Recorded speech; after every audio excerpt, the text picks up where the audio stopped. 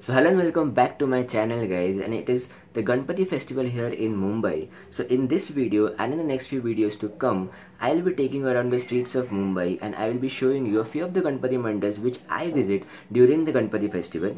So guys hope you enjoy this video and if you're not subscribed to my channel, do subscribe. So without wasting much time, let's get started.